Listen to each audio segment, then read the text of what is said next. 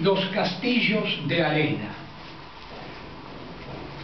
Un hombre y una mujer que se han mirado a los ojos por un instante para siempre, las manos apretadas como aferrando un enigma, entran a una habitación, sabiendo que toda habitación es una fuga al infinito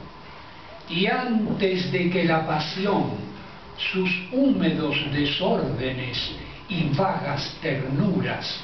fueran a trinar o dar estallidos,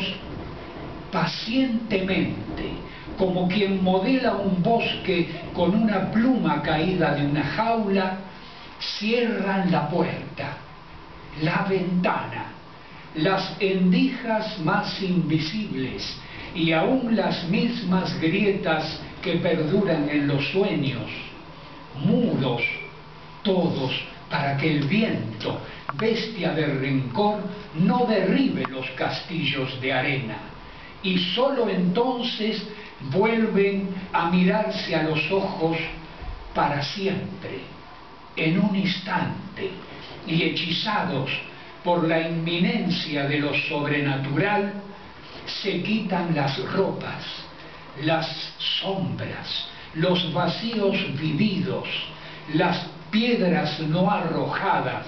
ansiando que esa vez, espléndido y extraño, brille el sol, remoto mar, en la noche, por un instante, para siempre.